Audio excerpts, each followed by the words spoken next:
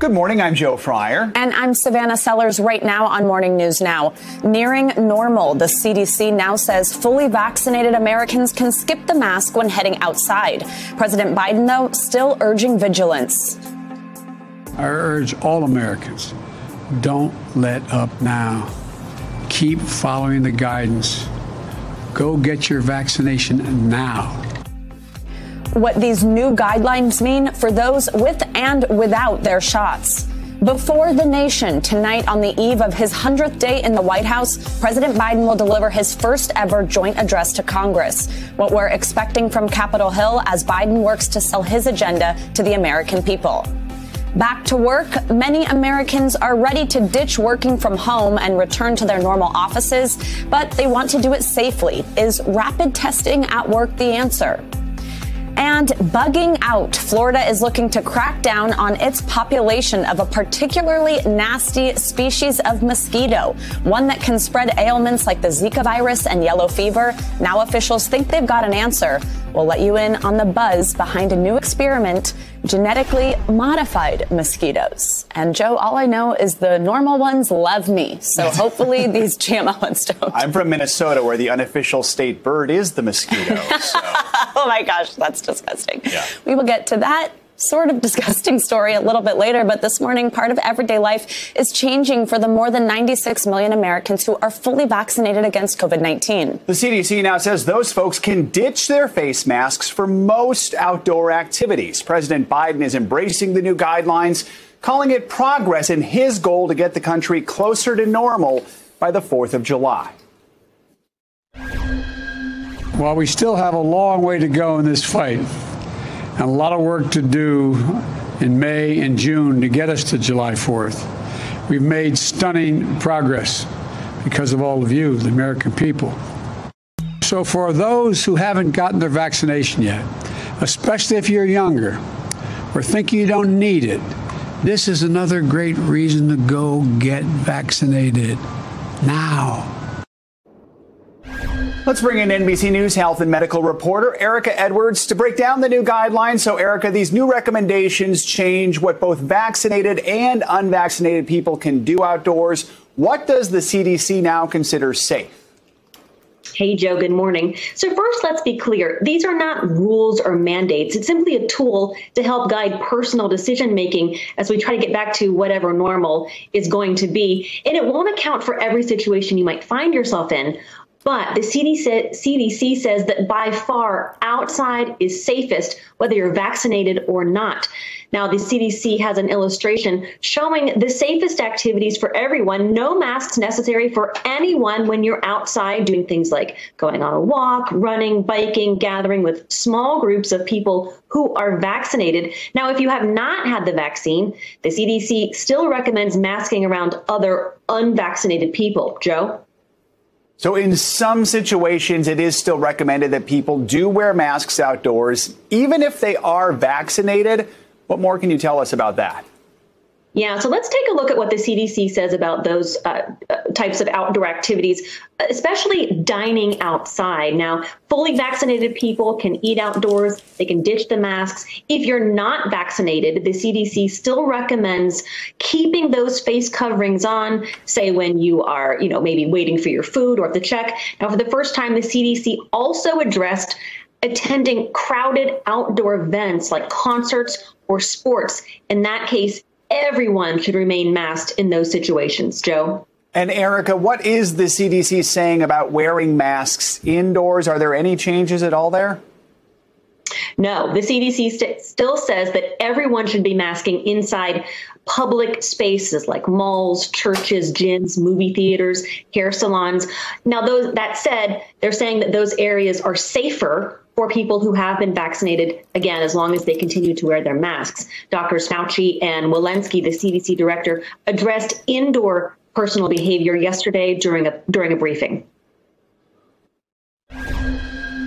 We know that the virus spreads very well indoors until more people are vaccinated. And while we still have more than 50,000 cases a day, mask use indoors will provide extra protection.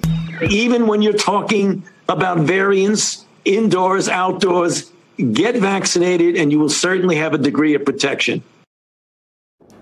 Okay, so here's the bottom line. We are getting a little bit closer to normal, but don't throw away those masks just yet.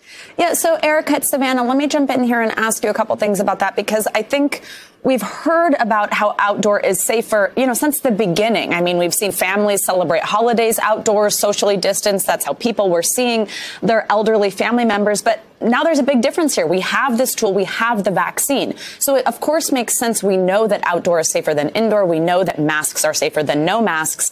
But as people get this vaccine and they're doing and taking that step that we've all been waiting for, do we have any idea when we might see indoor life really change for people who got the shot and be able to go back to more normal?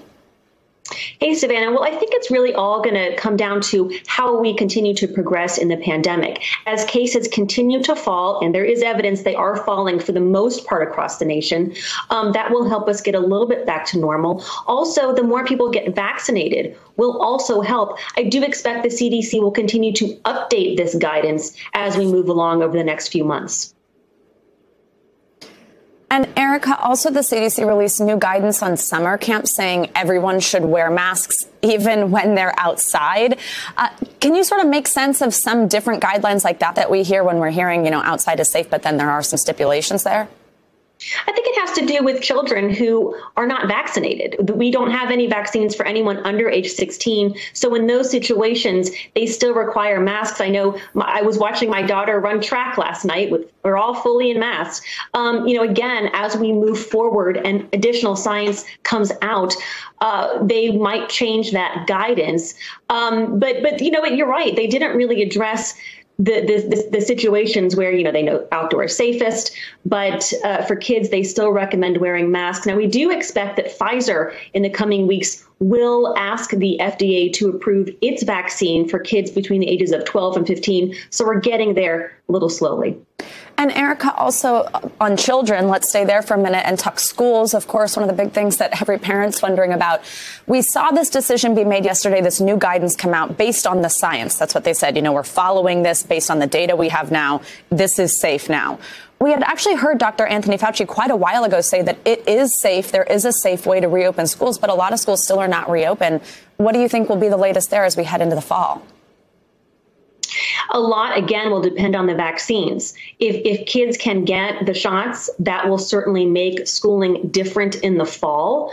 Um, it's unclear whether they will be required. Uh, to get the vaccine. But, you know, as we move forward and more kids are protected, that will certainly change the guidance. Now, we also know that kids, for the most part, do not get as sick as older adults. We also know that they can certainly transmit um, the virus. In Michigan now, for example, they are tracking more than 40 outbreaks in Michigan schools. Now, they're not huge outbreaks, but it's certainly an indication that the kids really can spread that virus. And then, of course, it can get out into the community for any uh, vulnerable adults. Erika, some good news this morning on the road to normalcy, but also a lot to make sense of. Thank you for walking us through it all. President Biden is expected to announce details of his American Families Plan tonight when he heads to the Capitol to deliver his first joint address to Congress. The White House says the president's $1.8 trillion plan will include universal preschool and the creation of a national paid family leave program. Security will be elevated at the Capitol in the wake of the January 6th attack, and because of social distancing requirements, only 200 attendees are expected in the House chamber for the speech. Now, in a typical year, that number is around 1,600. House Speaker Nancy Pelosi and Vice President Kamala Harris will also make history, marking the first time that two women will be sitting on the dais behind the president. NBCNews.com senior White House reporter Shannon Pettypiece joins us now. So, Shannon, tell us what else are you learning about tonight's speech? Well, yes, you mentioned that ambitious child care plan with free child care, extending the child tax credit, and also will include free community college. Uh, that's going to come with a $1.5 trillion price tag. And we are expecting the president to outline how he's going to pay for that as well, which would include increasing taxes on the wealthiest Americans. In addition to that, we're also going to hear the president making this pitch for his $2 trillion infrastructure proposal that's currently before Congress, as well as a number of other issues, including police reform and racial justice. We expect that to be a big focus there. Uh, administration officials familiar with the speech tell us to expect him to reference George, George Floyd uh, and to push for passage of that George Floyd police reform bill. And it's also going to provide the president an opportunity before a primetime audience of millions of Americans to put pressure on Republicans to come to the table and work with him on many of these issues that poll quite well among Democrats and Republicans. You mentioned how the president hopes to pay for it, talking about taxes. Do we have any more details about what he plans to propose in order to cover all these costs?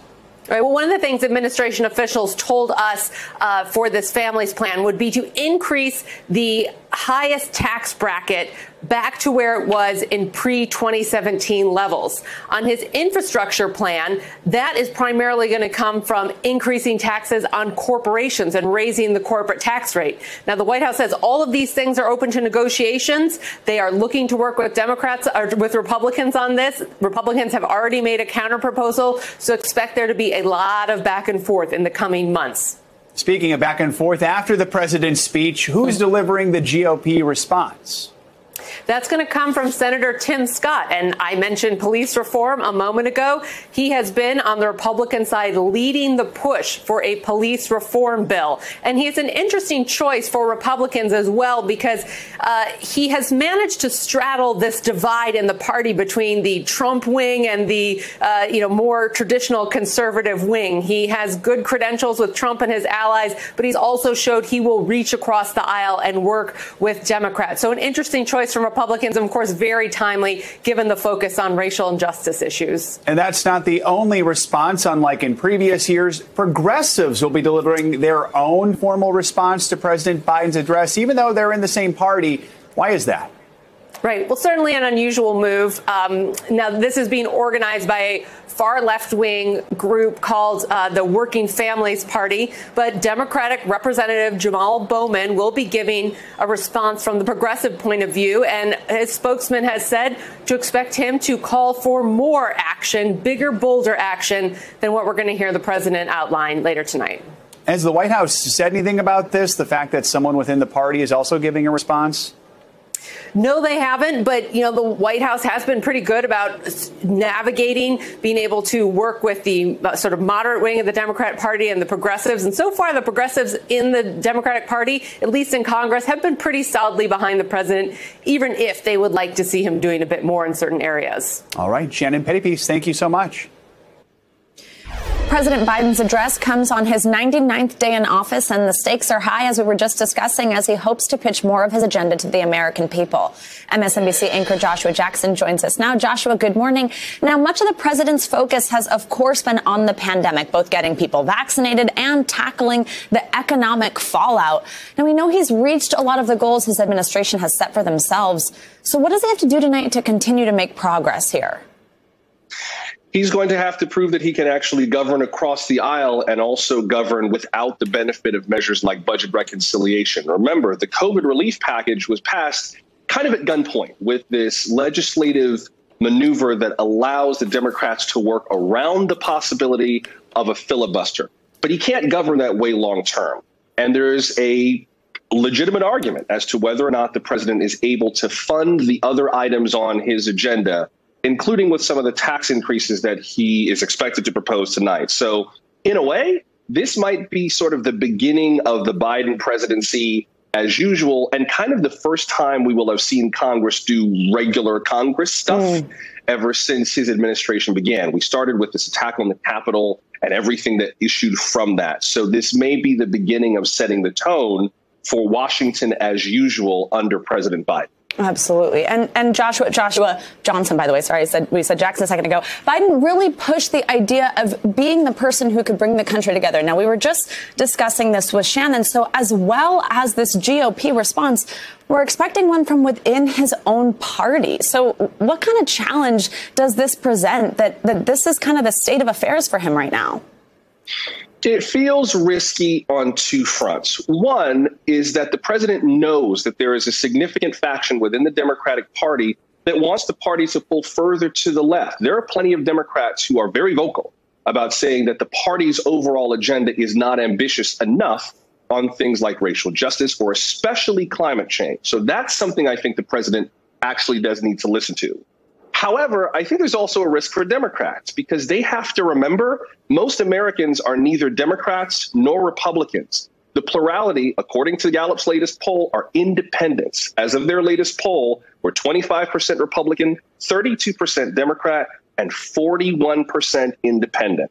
So if the party ignores that the plurality, at times the majority, of the electorate mm. is not on the left or the right, but it's solidly in the middle and chooses who it likes, they might lose the opportunity to move anything forward by forcing people in the middle to pull to the left. It feels risky on both fronts. Mm, that's a really good point. And Joshua is delivering this speech in a room that not long ago was the scene of an insurrection against his presidency. We saw this this terrible thing play out in this very room. How does that play into tonight? I think it gives him a chance, an obligation really, to set mm. a tone for the country. And that's what Joe Biden is best at is projecting empathy, is just looking into the camera and looking at you rather than looking at Congress. He's got an opportunity to sort of be the grown up in the room, to calm things down, to set a tone, to say, here is how we're going to move forward. I think the country kind of needs that right now. He also knows that he's dealing with a Washington that has become increasingly politically poisonous. It was his Democratic predecessor, Barack Obama, who, during his first joint address to Congress in 2009, was laying out his health care agenda. And when he said that his health care plan was not going to cover undocumented immigrants, that was the moment that South Carolina Republican Congressman Joe Wilson yelled, You lie, from mm. the back of the room.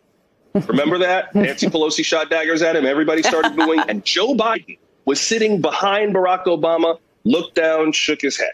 So he knows what he's walking into, and mm. he's got to set a tone, not just for the country, but for the chamber as well. And, and, Joshua, also one other thing, just when we get back to talking about his agenda and, and, what he wants to do going forward, we know that he's laid out these three plans, these two different types of these infrastructure plans, as well as the COVID relief package all three with huge price tags. Now, we know that there's a lot of back and forth going on within Congress about how that's going to be paid for, what Republicans will agree to. But what does this message need to be to the American people on that front? I think his message needs to be a few things. One is, I think, clarifying what he means by infrastructure. Mm. I think there's a legitimate argument as to what we need to do right now and what we can do later. Everyone agrees that infrastructure is roads, tunnels, bridges, airports, seaports. That obviously makes sense there's a case to be made for things like universal preschool or tuition free community colleges, especially with the changing economy. But do you call it infrastructure? Terminology matters. And I think he's got to explain what we mean and why we need to do all of these things now, whether as opposed to whether we can do them in pieces. And especially after this expensive COVID relief package, as much as the American people like it, at a certain point, you got to be able to explain how you pay for. So this mm. is the place, Savannah, again, where mm-hmm. I feel like we have a chance to really begin to start like, okay, the crisis is over. We're dealing with the insurrection on January 6th. Now let's begin my administration. This mm. could be the moment where he actually starts being a normal, everyday Monday to Friday president like we're used to. normal. Joshua Johnson, an normal, early whatever counts. Yeah, exactly. An early member of our NBC News Now family. It's good to have you back here. Thank you so much. Good to see you. Thanks. Let's get a check on your morning news now weather. Which means that Bill Karins is here. Hello, Bill.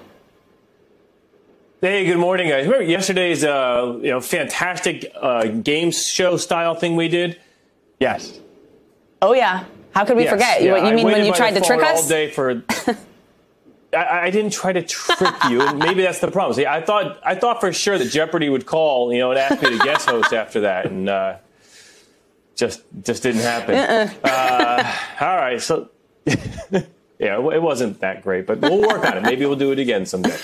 All right, so let's get to this forecast here. So we have a severe weather threat and we have the summer warmth heading to the East Coast. So we have a lot of activity going on and some of it could actually be a little bit dangerous. The severe weather threat continues this morning in areas of Oklahoma and North Texas. And it does look like we're going to get some large hail, maybe another ice case of some isolated tornadoes. We actually had 10 tornadoes reported yesterday, no significant damage, but we're going to watch some big cities today. Oklahoma City, Dallas included, and San Antonio in that threat. And we even could get a few strong thunderstorms for our friends in Cleveland, Pittsburgh, and Buffalo. It's that warm in those areas. We already have flash flood warnings around Wichita Falls. We have 4 million people under flood watches. We're going to see a lot of rain over the next two to three days in this area from Dallas through Little Rock, the Ozarks, St. Louis, and even including the Ohio Valley. So for today, there's the storms in the middle of the country heading into the Midwest. Look at the East Coast. One of the warmest spots in the entire country today will be the nation's capital, Washington, D.C., 87 degrees. New York jumps to 84, but it doesn't last. Rain will return on Thursday for New York City. Uh. Temperatures dropping down into the 70s. So uh, it's a one day heat wave in the Big Apple. So a little taste of summer and then back to spring. As long as we don't have winter again, I'm yeah, good. Yeah, All good. No more snow. We're yeah, good. We I can agree. handle the rain. Thank you, Bill. Coming up, Americans, or at least some Americans, can't wait to ditch work from home and finally return to their offices. But how can that be done as safely as possible? One company might have the answer. That's next.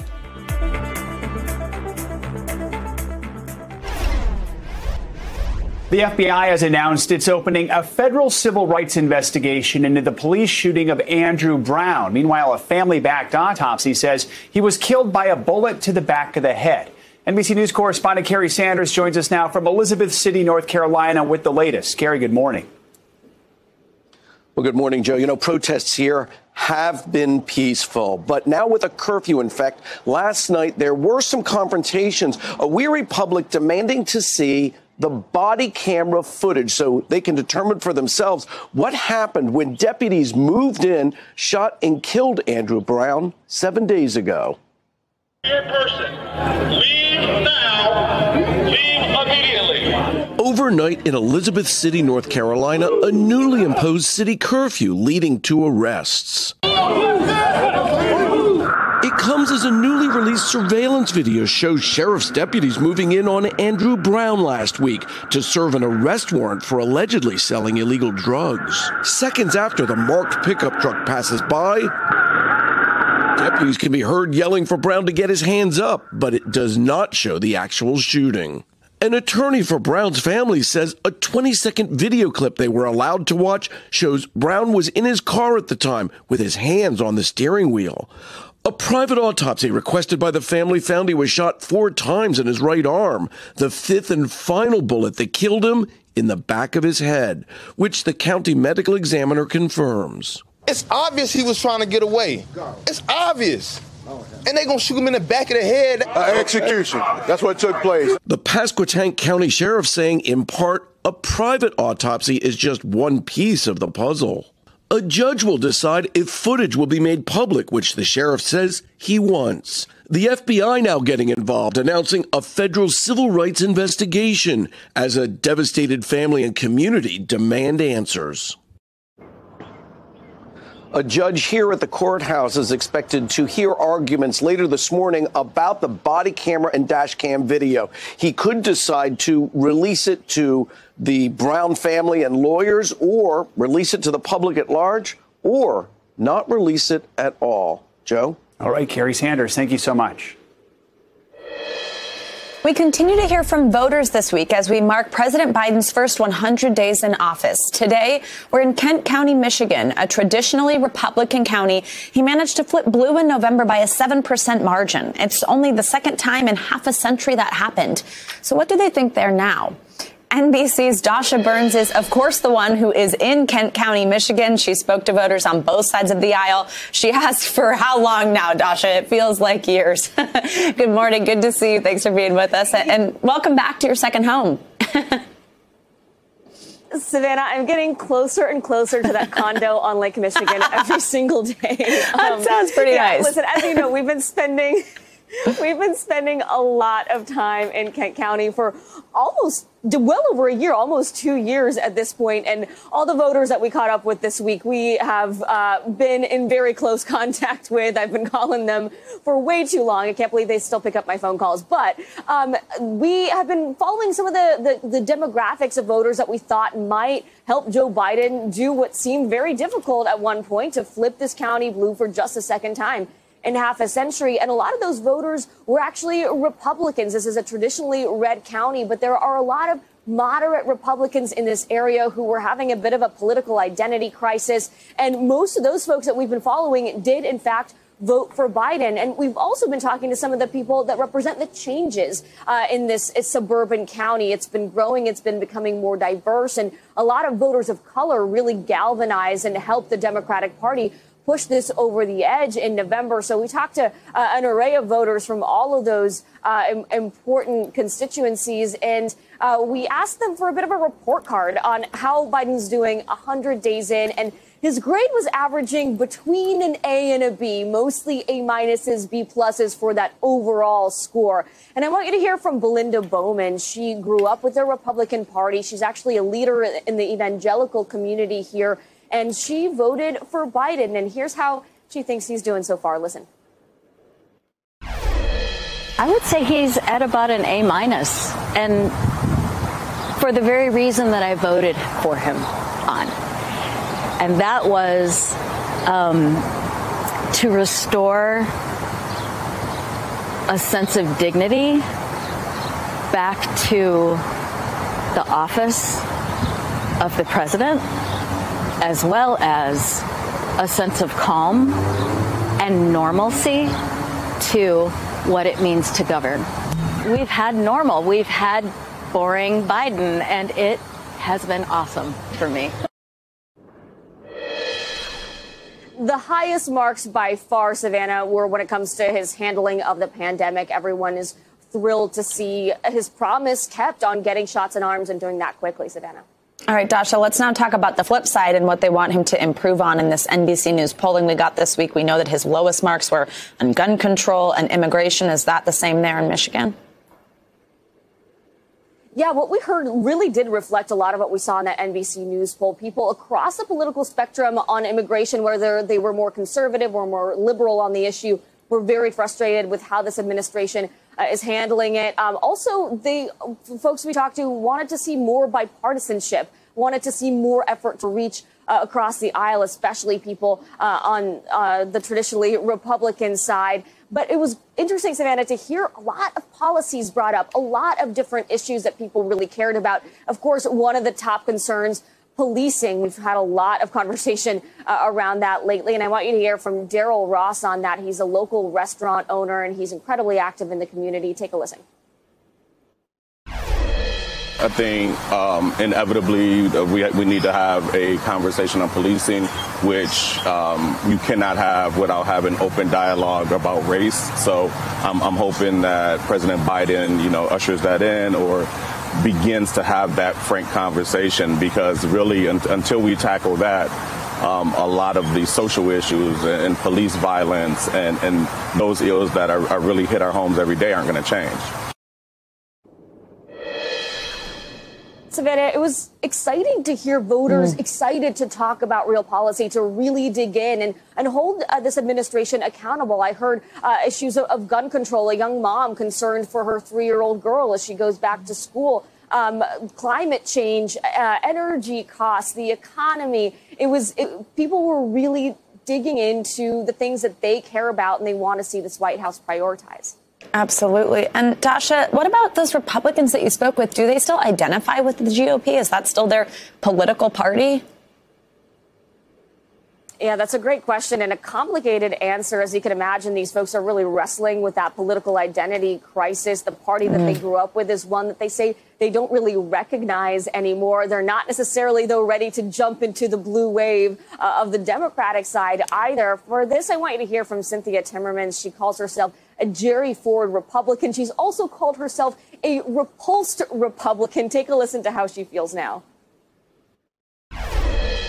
I'm still repulsed, but I, um, I'm considering myself an independent now. I've not quite jumped over into the Democratic um, side, but um, but I'm definitely not a member of the GOP anymore. I actually called them and asked them to remove me from their rolls.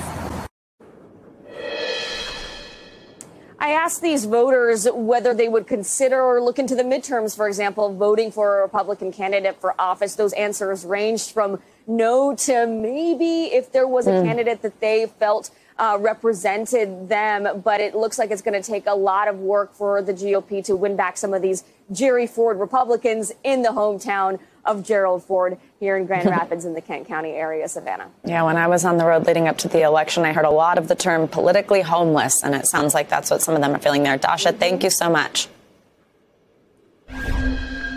As companies begin to welcome employees back to the workplace, many experts believe that weekly testing is the key to a safe return. NBC News investigative and consumer correspondent Vicky Nguyen joins us now with more on that and the new push for at-home testing. Vicky, good morning. Hi, good morning, Joe and Savannah. It doesn't look like much, but this is a rapid antigen test for COVID-19. Check it out. I took this yesterday at my kitchen table. You just do the swab and then you insert it in here. It reacts with a reagent. And look, I got my negative COVID-19 result in just minutes. This is now available over the counter and a lot of experts say this could be the key for getting us all back to work safely. Take a rapid COVID 19 test twice a week at work. That's now an option for hundreds of employees at Genpact, a digital consulting company in Texas. I am going in to get my test. Nichelle Boylan says it was a no brainer to opt in. A quick swab of the nose, and within minutes, she learns the result on her phone. If it's positive, she heads home to isolate before coming into contact with coworkers. If she's negative, she goes into the office. Does it give you peace of mind? Total peace of mind. We want to return to work, but we want to do it safely. And this helps us. What is this doing for your employee population? Uh, it's improving their morale. It's improving their confidence that when we say, look, we really have safety protocols that allow you to come to office. Now, some scientists say programs like Genpact's should become standard practice so employees can safely return to work without fear that their coworkers could be asymptomatic but infectious. Harvard epidemiologist Dr. Michael Mina has been advocating for frequent rapid testing since the start of the pandemic. What do you think is the biggest misconception when it comes to rapid testing? That rapid tests are not accurate. When used frequently, say twice a week, they will be very sensitive he says these rapid antigen tests will catch people who are sick before they even know they're sick, which means they stay home and don't spread the disease. Is that the most effective way to get back to what we had pre pandemic, to reopen businesses, to reopen schools safely? Absolutely, even if spread is ongoing in the community. He says while Genpact's program is a good first step, businesses and even schools should adopt at home testing. We saw it firsthand back in January. So now you're going to swab your nose. Uh-huh. For this test made by Abbott, simply swab your nose, insert it into the card, and results appear in about 15 minutes. This is definitely giving me pregnancy test flashbacks. That's right. to see how effective these tests can be in the real world, Mina launched a study with Citibank in February, asking 6,000 employees to test themselves at home three times a week. The results are uploaded to an app which tells them whether or not they can go into the office. What have you found so far? Almost immediately, we began finding uh, infected individuals who would have otherwise gone to work not knowing that they were positive and transmissible that day. The Citibank study will be completed in June. Meanwhile, Genpact is also finding asymptomatic cases. The CDC says using workplace screening to stop the spread of virus is most effective when combined with masking and social distancing. The agency recommends weekly testing, especially for businesses like hair salons and manufacturing plants, where employees are close together. Testing plus vaccination together, I think is the way to bring the economy back in a much faster way. Now, Genpact's testing program is voluntary, but the company says about 70% of its workers are taking part, and very soon they will be doing these tests right at home. So if they get a positive, they stay at home, they get a confirmation PCR test, but that really helps to reduce the risk of spread because now they don't even have to go into the office. Savannah and Joe? So, Vicky, can anyone buy these at home tests, and how much do they cost? Yeah, Joe, the FDA just issued emergency use authorization for two of these at home tests. This one made by Abbott, and there's another one made by a company called Ellume. That one will be available by the end of May. You can walk into a CVS or a Walgreens. They range from $24 to $38 for a pack of two. So it's not quite that affordable yet, but the idea is to bring the cost down. And hey, Vicky, it's Savannah. Quick question. How accurate are these tests?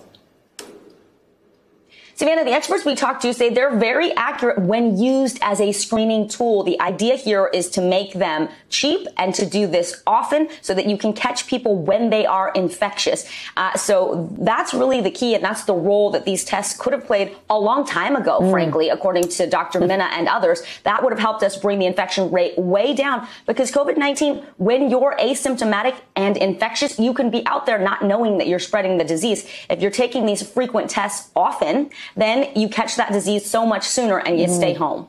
Hopefully, folks realize that testing is still important yes. as we move forward. All right, Vicky, thank you so much. Yeah, Great even report. with the vaccinations. Yes, yes, definitely. Thanks, Vicky.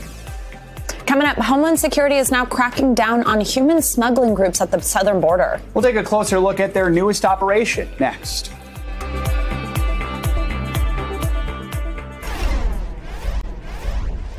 The American Medical Association is showing its support for the transgender community, writing to governors urging them to veto transgender medical bans. In a letter to the National Governors Association, the AMA says that stopping kids under age 18 from receiving transition related care is a dangerous government intrusion. The association CEO also cited evidence that trans and non binary gender identities are normal variations of human identity and expression, adding that decisions about care belong belong in the hands of healthcare providers and families, not lawmakers. The state of Arkansas has banned transition related care for minors, and at least 14 other states are considering similar legislation, according to the American Civil Liberties Union. Savannah doctors also say that this type of transition care it helps reduce anxiety, mm. depression, suicide attempts. It's incredibly important and really vital. Oh, absolutely. You can totally just imagine the effect on mental health.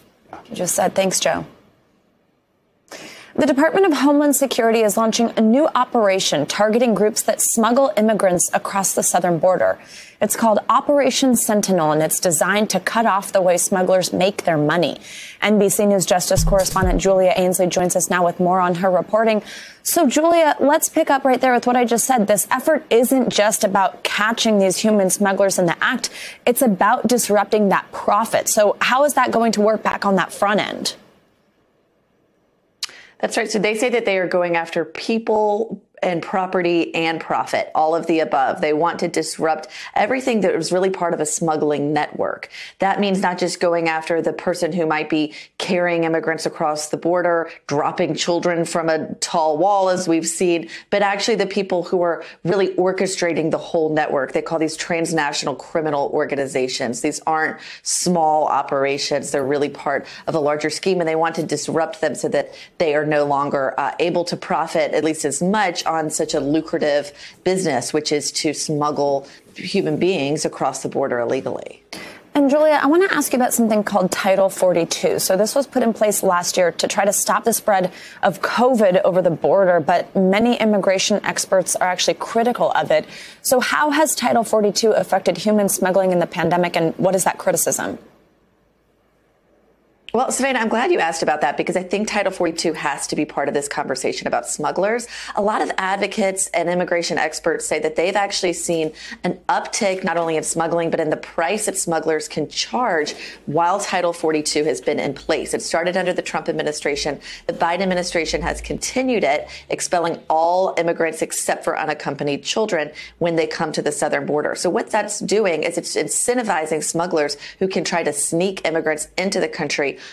undetected. Mm. And when they are expelled, there are actually very few consequences, so they could keep trying again and again.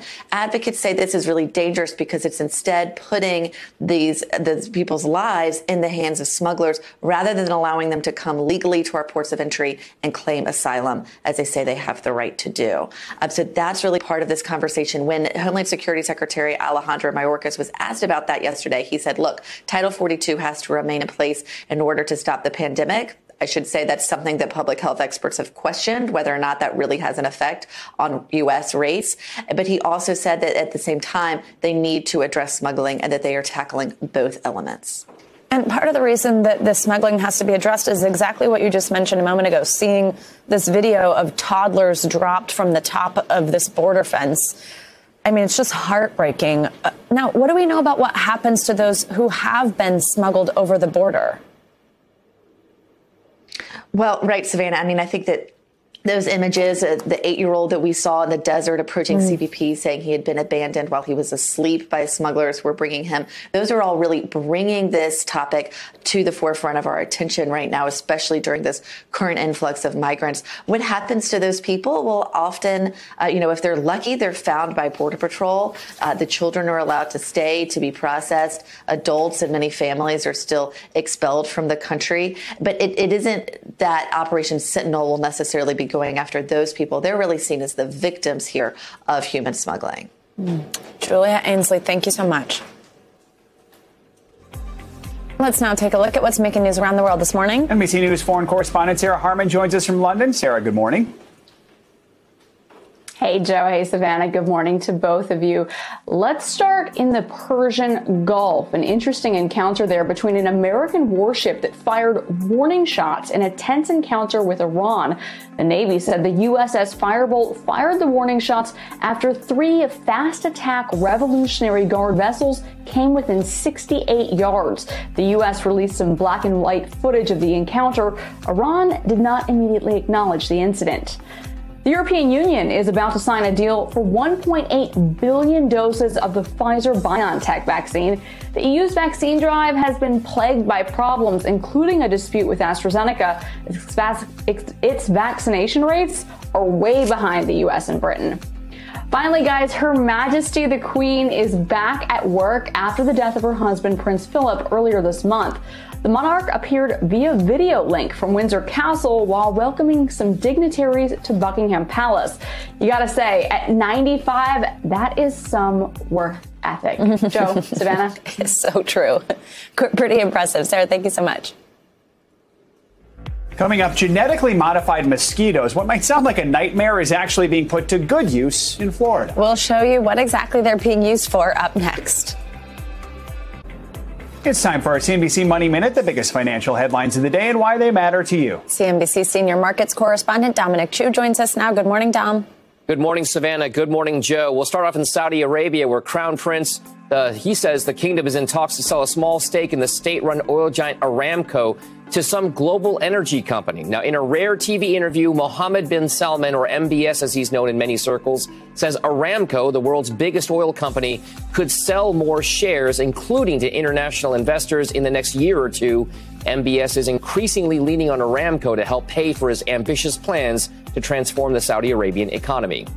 Facebook and Instagram are working on tools to help creators make more money. These include online shops so creators can sell items directly on the platforms and get a cut of the sales that they promote. Social media companies are trying to spur the creation of more content to keep users engaged on those sites. Twitter has also been testing new tools, including a super follow function, giving people access to exclusive content to people they follow for a fee. And Sony says it sold nearly 8 million PlayStation 5 consoles as, the, as of the end of March, with more than 3 million moved in just the first three months of the year. Earlier this month, research firm NPD said that the PS5 was the fastest selling console in U.S. history since launching in November, both in terms of units sold and the total dollar amount spent by customers. That PS5 is still very difficult, guys, to come by, with demand far outstripping supply. And Savannah Joe not helping matters the fact that there is still a global computer chip shortage, including those to make video game consoles. Back over to you. Well, if anyone wants one, I still have my PS2. Oh God! So I still have an I've Xbox, like version Xbox one. one. I'm an Xbox One. yeah. I have an Xbox One. Me yes. too, Dom. I used to be really into that snowboarding game, but it's been a minute. we could do without it. Thanks so much. you got it, guys. Now to a particularly itchy subject that's all the buzz. A mosquito experiment in the Florida Keys is attempting to control the population of the annoying but potentially deadly insect. One company is working on a way to genetically modify the bug to stop it from multiplying. NBC's Sam Brock joins us now from Miami. And Sam, I think this is good news for me because I'm one of those people where like each limb turns into one massive mosquito bite in the summer. we're in the same boat. The mosquitoes just seem to find me wherever yes, I go, and I get the impression, Savannah, that it's the same thing for you. There's a lot of reasons why people come down to Florida. The mosquitoes is not one of them, but there's a company now that's developed an entirely new technology they believe will limit their spread by actually, Savannah, releasing more mosquitoes into the environment, but just the males that it turns out don't bite in the hopes that their female counterparts will stop spreading disease. Inside boxes like these on the Florida Keys, a possible key to what scientists hope will slow an invasive and dangerous mosquito species. They're called Aedes aegypti and are known to carry diseases like Zika, dengue, and yellow fever, the females spreading infection with their bites. In the Keys, they make up just about 4% of the mosquito population, but are responsible for virtually all of the mosquito borne disease transmission uh, to humans. The potential solution starts at Oxitec's lab, where tiny eggs are injected with a modified DNA strain ultimately producing mosquitoes that have what's called a self-limiting gene. Only the male offspring can survive past an early stage.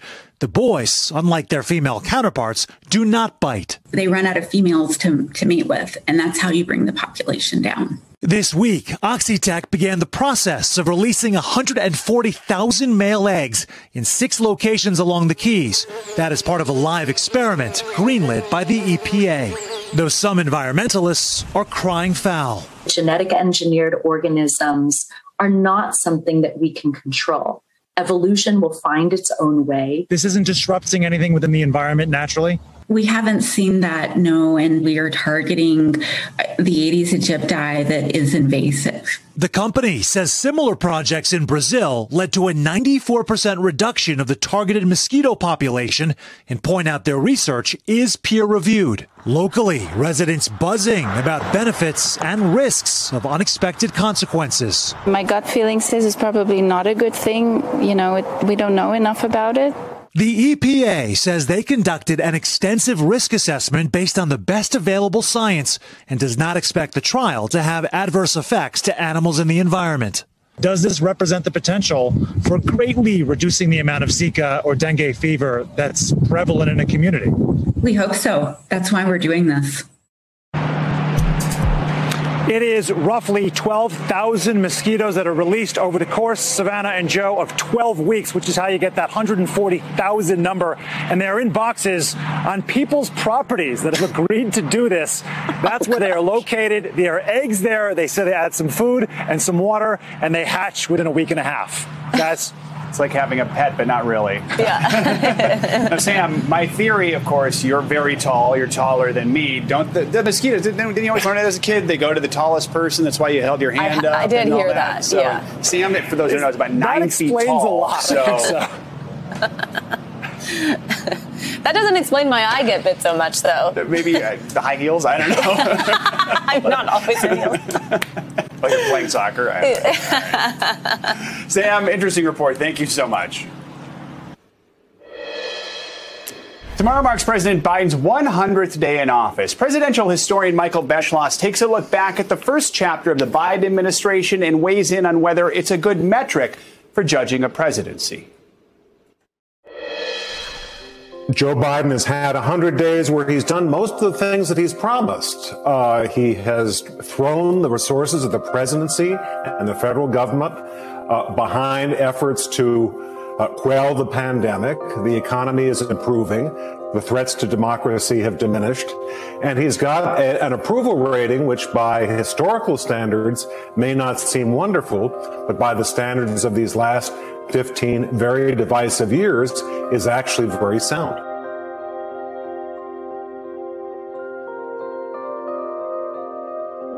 I think they will look back on the moments in this period where Joe Biden said, we've gotten this many shots into arms and we're now up to this and it's now this available. That's the fundamental reason why Joe Biden was elected was to help Americans to protect themselves. They're doing it.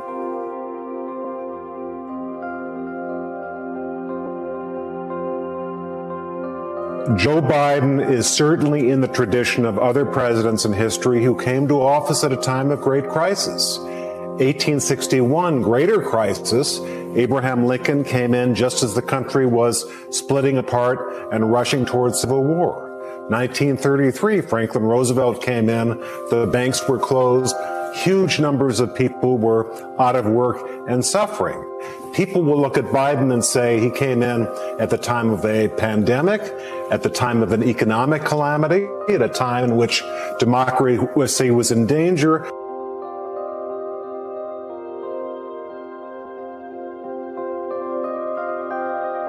I think one thing that historians will say about Joe Biden is that we are benefiting from the fact that he was vice president at the time that President Obama came in in 2009 at a time of extreme economic calamity.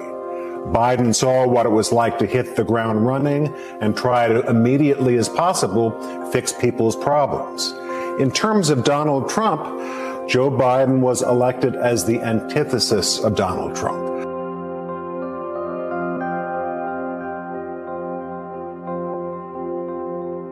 Any president knows that anything can happen at any time, and the vice president also has to be prepared. Because he has been vice president for eight years, you can be sure that he will benefit from that experience in bringing Kamala Harris in as much as possible and making this a team effort.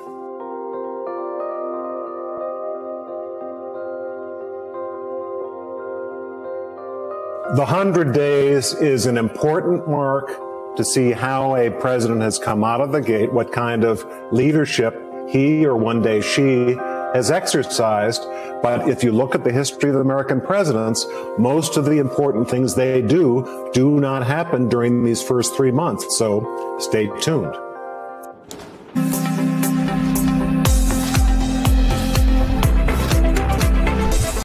Hey, NBC News viewers, thanks for checking out our YouTube channel. Subscribe by clicking on that button down here and click on any of the videos over here to watch the latest interviews, show highlights, and digital exclusives. Thanks for watching.